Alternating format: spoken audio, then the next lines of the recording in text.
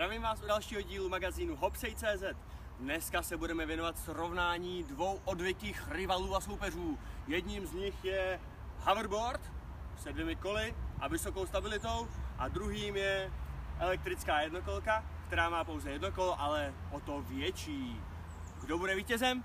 Dozvíte se po reklamě. Uh, nesehnali jsme sponzora, takže jdeme dál. Uh, takže začneme hlavními vlastnostmi obou produktů. Hoverboard je oblíbený proto, že je opravdu velmi snadné se na něm naučit. Nejde z něj spadnout. Doprava a doleva řeší stabilitu skutečně, že má dvě kola, takže to prostě nejde, kdybyste chtěli spadnout. Dopředu, dozadu řeší stabilitu elektronika. Takže opravdu, kdo na to stoupne do minuty, maximálně do dvou, to jsou jako největší neschopáci, se opravdu naučí jezdit v klidu a nespadnout. Uh, takže je to super hračka pro lidi, kteří nechtějí moc velký výzvy a kteří se chtějí prostě trošku po, po, pojezdit. Tím, že to má malý kola, nebo aspoň ve srovnání s elektrickou jednokolkou, uh, tak z toho plynou nějaké nevýhody. Využití je hlavně na rovném povrchu nebo na hezkým, hezkým chodníku. Jakmile bych to chtěl mít jako dopravní prostředek na českých chodnicích, kde je to samá díra, nebo občas jet po kočičích hlavách, tak vás ujišťuju, že to nebude rozhodně žádný zážitek. Takže spíš to vidím jako zábavu na nějakou party, na firemní akci a podobně, na rozdávání letáčků někde v místě ve velké hale, kde je krásně litý beton, ale rozhodně ne jako dopravní prostředek. O to zajímavější je právě v tomhle elektrická jednokolka, která je jako dopravní prostředek do města úplně ideální.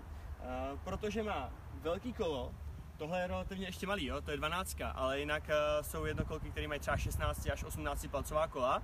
To znamená, že ta jízda i v terénu anebo na kočičích hlavách je mnohem příjemnější, nedrncá to tolik, krásně to vyžehlí nerovnosti, nerozlí vás ani díra. Další důvod, proč tohle je lepší dopravní prostředek z pravidla než hoverboard, je to, že si můžete pořídit modely, které mají třeba 1000 W motory, takže tam vás opravdu nezastaví ani prudký kopec. Uh, další výhoda je, že z pravidla elektrické jednokolky uh, disponují kvalitnějším uh, světlem, který vám opravdu osvítí cestu dopředu a vzadu svítí červeně, takže do vás možná nikdo nenepálí.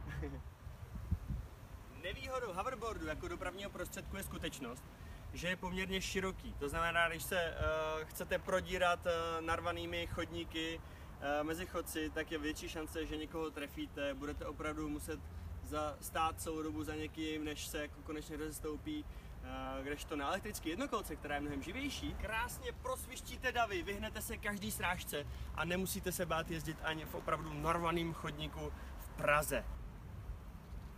Nevýhodou jednokolky je, že si spousta lidí myslí, že je to strašně náročný, ale garantuju vám, že většina lidí se na elektrické jednokolce naučí jezdit do 15 minut když je někdo opravdu, opravdu velký strašpitel a bojí se rychlosti, eh, tak mám rekordmana, který se to naučil za hodinu. Ale to byl 65-letý pán. Za hodinu max. Myslím, že 65-letého pána určitě eh, trumfnete. Eh, za chvilku, po třeba jednom dní tréninku, pro vás nebude problém přijímat hovory, psát SMSky za jízdy mezi lidma. Mějte se, ať vám to frčí a rozhodně doporučuji elektrickou jednokolku. Ahoj!